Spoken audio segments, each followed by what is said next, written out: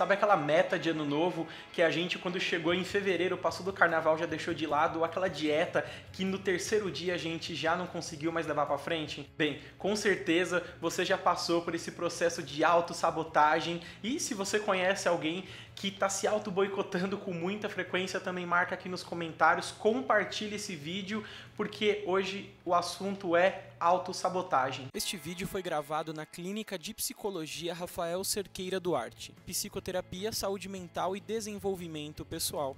Vamos juntos construir um mundo em que a ansiedade e a autossabotagem não ditam as regras em nossas vidas.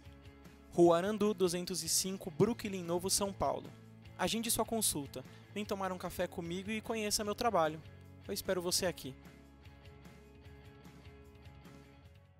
Olá, sou o psicólogo Rafael Cerqueira e hoje eu quero explicar um pouco sobre o que, é essa autossabotagem, esse auto-boicote e como que a gente pode utilizar algumas estratégias para fugir desse círculo vicioso. A primeira coisa é compreender que a autossabotagem, quando a gente vai boicotando as nossas próprias metas, quando a gente estabelece algumas missões para nós e a gente não consegue cumprir, isso pode ter diversos motivos. Talvez você tenha participado de um ambiente, de uma família ou de, de um espaço que constantemente a, a frustração ela era fortalecida, ela era reforçada.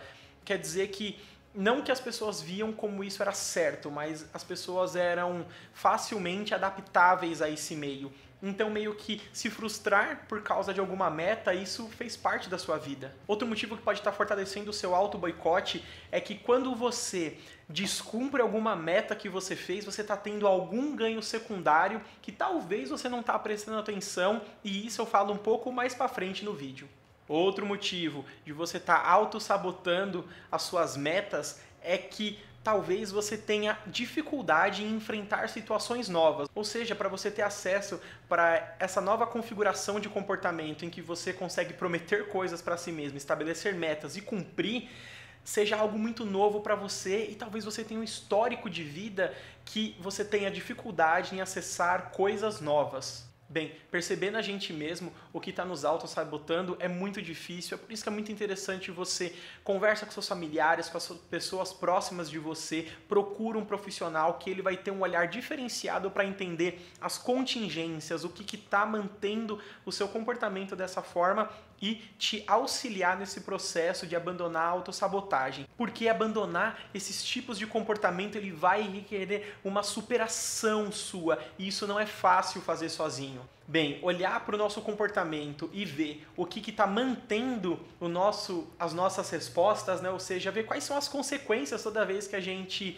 corta, que a gente burla alguma meta, algum compromisso, é o primeiro passo. E compartilhar isso com outros amigos para olhar essa história de diferentes ângulos, diferentes ângulos que a gente não consegue perceber em nós mesmos, porque isso simplesmente faz parte da nossa história de vida, é o primeiro passo para conseguir cortar, mudar esse mundo de auto boicote. Apenas para dar um exemplo, vamos supor que eu quero fazer academia e eu coloco essa meta de barriga tanquinho, de sei lá o que, projeto verão 2019, alguma coisa assim. Só que ao invés de ir para academia, eu fico em casa dormindo. Você percebe como dormir é algo muito mais agradável e imediato do que ir para academia e ter que treinar tantos meses. Talvez para mudar esse tipo de comportamento eu tenho que colocar logo depois uh, do treino da academia algo que seja mais recompensador do que dormir. Eu estou dando um exemplo bem esporádico e bem generalista e cada caso é um caso. Para encerrar, eu quero deixar a mensagem que você não é obrigado a ter um excelente desempenho em tudo, que você tem que uh, nunca se auto-sabotar. Porém, isso às vezes é limitante para as pessoas quando elas querem potencializar algum recurso, algum comportamento em relação ao trabalho, ou elas querem parar de se auto-sabotar em relacionamentos interpessoais, em relacionamentos amorosos. E sim, você precisa de uma ajuda, você precisa de um auxílio para te guiar nesse caminho contra a autossabotagem. Com alguma dúvida, se você quer passar por esse processo para abandonar a autossabotagem, manda para mim aqui mensagem box, comenta nesse vídeo que eu estou à disposição para te receber aqui na minha clínica no Brooklyn Novo e a gente falar mais sobre isso, a gente trabalhar essas questões de uma forma bem assertiva. Eu sou o psicólogo Rafael Cerqueira e eu espero você no próximo vídeo.